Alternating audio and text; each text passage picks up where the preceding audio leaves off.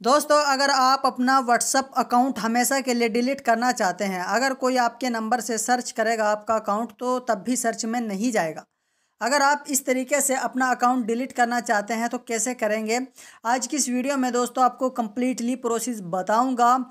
तो वीडियो को एंड तक देखना वीडियो को बिल्कुल भी इसकी मत करना। तो चलिए दोस्तों, बिना टाइम वेस्ट करते हुए वीडियो को शुरू करते हैं। तो सबसे पहले दोस्तों, आपको व्हाट्सअप को ओपन कर लेना है। व्हाट्सअप को ओपन करने के बाद आपको यहाँ कॉर्नर में राइट साइड में ऊपर थ्री डॉट दिखाई देंगे, इस पर आपको क्लिक करना है। क्लिक करने के बाद यहाँ आपको एक सेटिंग का ऑप्शन मिल जाएगा तो आपको सेटिंग पर क्लिक करना है।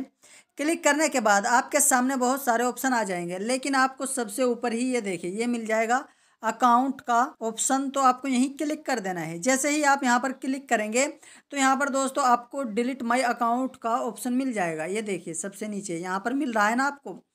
डिलीट माई अकाउंट ठीक है? तो आपको यहीं क्लिक कर देना है। जैसे ही आप यहाँ पर क्लिक करेंगे तो आपको यहाँ पर दोस्तों दो ऑप्शन मिलेंगे, ठीक है? यहाँ पर आपको मिल रहा है चेंज नंबर अगर आप अपने अकाउंट का नंबर चेंज करना चाहते हो तो सिंपली चेंज नंबर पर क्लिक करेंगे और यहाँ से अपना नंबर चेंज कर लेंगे।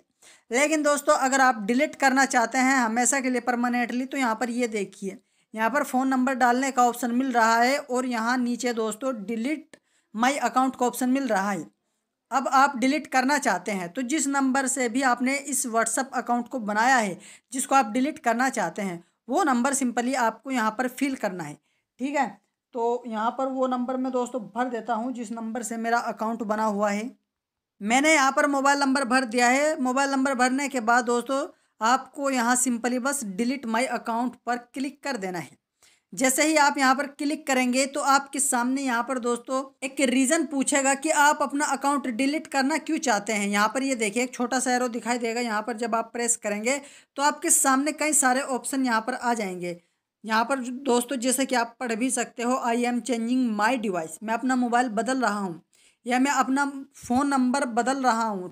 यहाँ पर दोस्तों आपको कई सारे ऑप्शन मिल जाएँगे, जो भी रीज़न आप देना चाहते हो, दे सकते हो, ठीक है?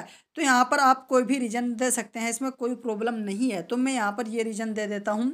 ये दोस्तों, इसके बारे में आप लिख भी सकते हो, ठीक है?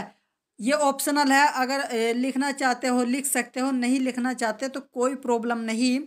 फिर दोस्तों, आपको यहाँ पर ये देखिए, नीचे डिलीट माई अकाउंट का ऑप्शन मिलेगा, सिंपली आपको यहीं क्लिक कर देना है।